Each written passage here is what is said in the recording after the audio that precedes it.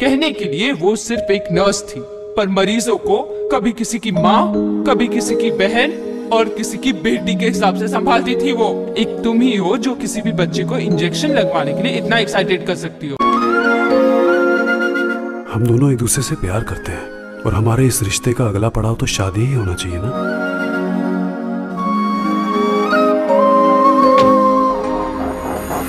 ये तुम्हारे ही काम है ना उस पेशेंट के पति ने पर्चे वाली सारी दवाइयाँ खरीदी थी। कहाँ गई? तुम्हें पता भी है इसमें कौन कौन इन्वॉल्व है? जिस चीज़ के बारे में पता ना हो ना उसमें घुसने की कोशिश मत करो। वो शीतल पता नहीं उसको कहाँ से पता चला कि मरीजों के दवाइयों का झोल कर रही हूँ? अगर नेक्स्ट टाइम उसने मुझे फिर से पकड़ लिया ना मेरी नौकरी तो जाएगी।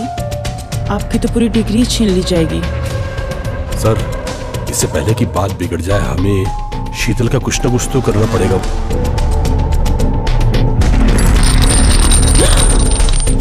शीतल उड़ागे केस के बारे में आपसे और आपके स्टाफ मेंबर से पूछताछ करनी है।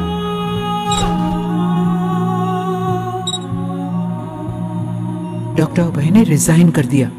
उन्होंने कहीं और ज्वाइन कर लिया है। आखिर कब तक? कब तक तुम उसे ऐसे ज़िंदा रखोगे? जब तक वो खुद हार मान नहीं जाती तब तक। ब्रिजेश मुझे एक पब्लिक इंटरेस्ट लिटिगेशन फ़ाइल करनी है। नाम Sheetal Udake ex nurse subject mercy killing. पता कि आगे क्या होगा लेकिन मुझे अपने देश के लॉ सिस्टम्स और जजेस के डिसीजंस पे पूरा भरोसा है सैतीस सालों से उस हॉस्पिटल वार्ड में एक बेड पे पड़ी हुई शीतल का दर्द अगर वो समझ पाए तो वो ज़रूर उसे इस ज़िंदगी से आज़ादी देंगे